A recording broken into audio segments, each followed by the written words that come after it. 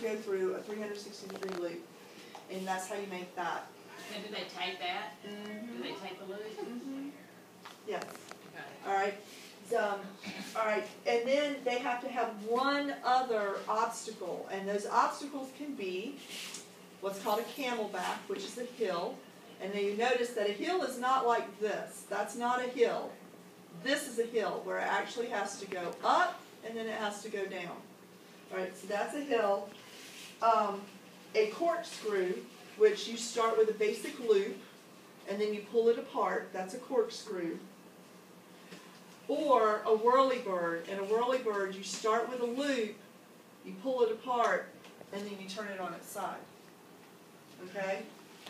So those are the um, obstacles. And then it needs to come to a fairly safe stop. This is probably the most difficult thing. Um, but, you know, try to get the kids to, to get it to where the marble comes it just kind of drops off the end, doesn't go shooting off into the sky. Okay? So that is the roller coaster. And all, Okay, all of yeah, that's supposed is to happen with that one? With this one, you have 12 feet of track. Jeez. It Okay. works. You All right. have 12 feet of track.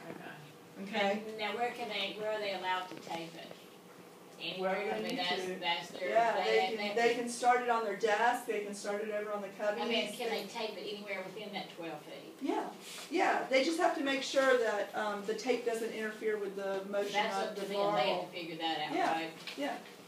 It's an yep. It's an And you ration the tape, they have to come and you get tape, Yes. or else they'll be like, oh. Yes. The tape. You know, give start them off with you know maybe a yard. You know, a couple of feet, whatever.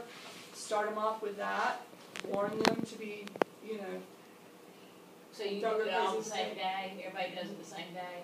All, oh. well, you can do it whatever day you want. It may no, I take, mean, all, oh. all your class run, Oh, everybody yeah. does it the same Yeah. day, you don't do it, it's not a contest or